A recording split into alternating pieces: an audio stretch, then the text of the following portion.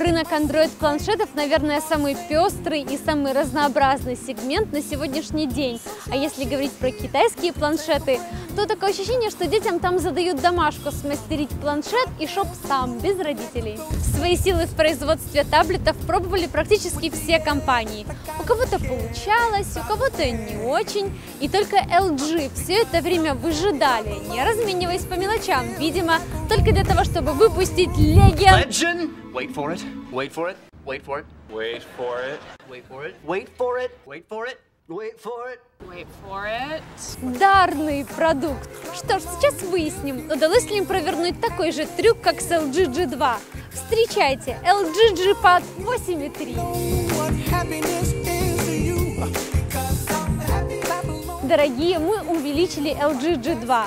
Именно так, скорее всего, начинали презентацию корейские дизайнеры. Если взглянуть на Pad 8.3 с лицевой стороны, то сравнение с флагманским смартфоном напрашивается само собой. Тонкие по меркам планшета в рамке, полное отсутствие каких-либо кнопок и управляющих элементов под экраном. Ну, собственно, на этом сходство и заканчивается. Практически вся тыльная часть представляет собой алюминиевую пластину, в белом варианте она не окрашенная. Несмотря на то, что это не пресловутый глянцевый пластик, как сами знаете где, в нашей черной версии. Отпечатки пальцев очень заметны, да и чтобы оттереть их, нужно приложить некое усердие. Думается мне, что в белом паде с этим делом все намного лучше. Может показаться, что корпус разборной, но это всего лишь иллюзия. Добраться до батареи не получится. Все элементы управления сгруппировались на правой грани, причем кнопка включения забралась на самую верхотню и тянуться за ней не очень удобно. Но, скорее всего, и не придется. Хе-хей, как и в G2, новинка поддерживает функцию пробуждения по double-tap у. Работает она не всегда идеально, но не устаю повторить, что это архиудобно и должно быть везде. Но пока есть только в LG, да в некоторых Nokia. Микро-USB снизу, а сверху под резиновой заглушкой таится гнездо для microSD карт. Стереодинамики расположены на задней грани, на почтительном друг от друга расстоянии. Им вполне удается создать некий стереоэффект, да и по громкости все неплохо, вот бы добавить хотя бы немного басов. Выглядит планшет отлично и собрано все очень хорошо. Если не пытаться скрутить его в бублик, то никаких похрустываний и поскрипываний вы от него не услышите.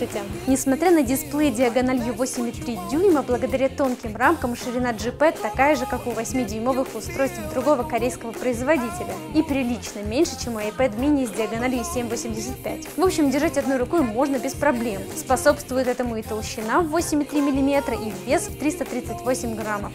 По словам LG, ширина планшета подбиралась под карман мужского пиджака. В задний карман джинсов его тоже можно засунуть. Главное не забыть достать его перед тем, как решите где-нибудь присесть. А то получите LG Flex только с треснувшим экраном. Всю переднюю панель занимает IPS-дисплей с диагональю 8,3 дюйма, прикрытый защитным стеклом Gorilla Glass 3. Разрешение не стандартное Full HD, а несколько больше, 1920 на 1200. За счет этих 120 пикселей и прибавилось 0,3 дюйма к 8. И дисплей стал несколько шире, благодаря чему планшет удобно держать не только в горизонтальной, но и вертикальной ориентации. Контрастность у G-Pad одна из лучших, которая встречалась при планшетах вообще вообще, даже чуточку выше, чем у Nexus 7. Цвета насыщенные, а так как PPI тут 274, то и пиксели практически неразличимы. Углы обзора, которые так важны для планшета и которые все-таки были некоторой проблемой в LG G2, очень широки. Контраст под углом хоть немного и падает, но добиться инверсии цветов практически невозможно. Яркость не рекордная, но, видимо, благодаря эффективному антибликовому фильтру на солнце изображение видно неплохо.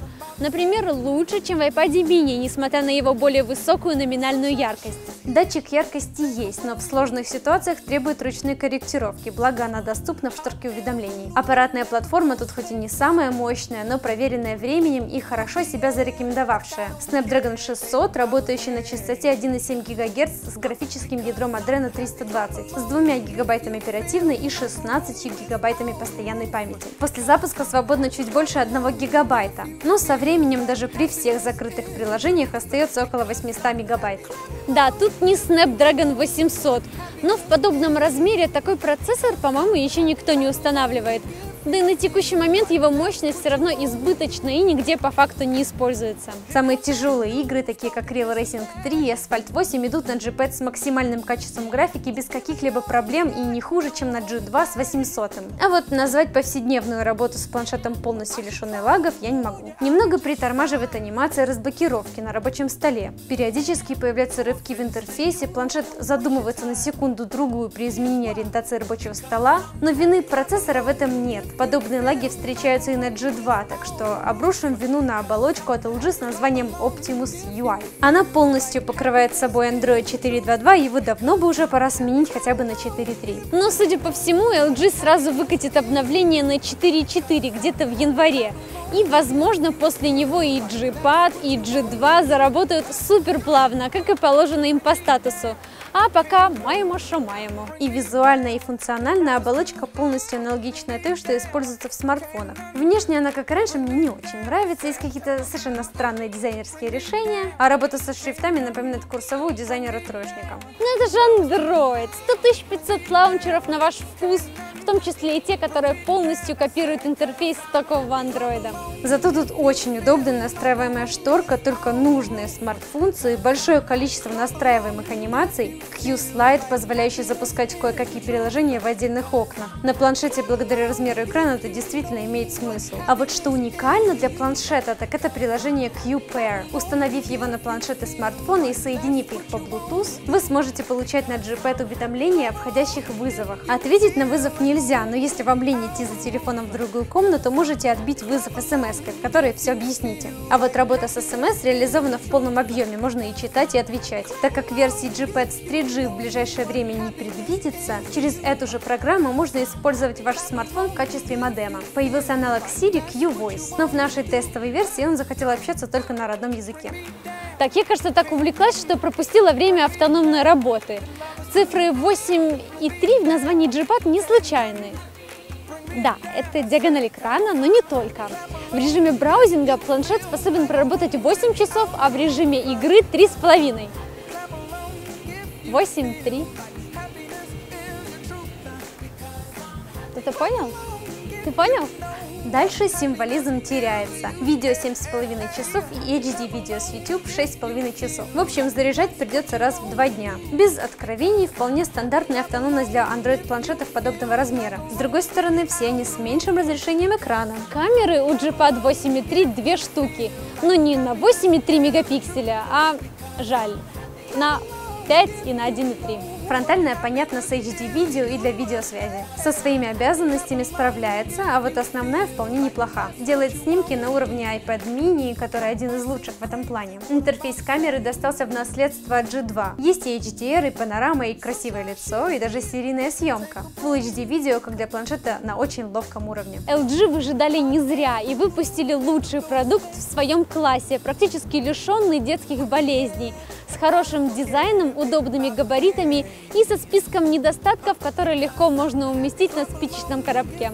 А именно не последняя версия Android и не самый красивый интерфейс. Но все это с лихвой компенсируется отличной внешностью, классным дисплеем, быстрой работой и достаточно доступной ценой. Она будет в районе 350 долларов. В общем, никаких противопоказаний для покупки нет. Как нет и для того, чтобы поставить лайк и подписаться на наш канал. Ну, это, кстати, наоборот, даже укрепляет иммунитет. Скоро грипп.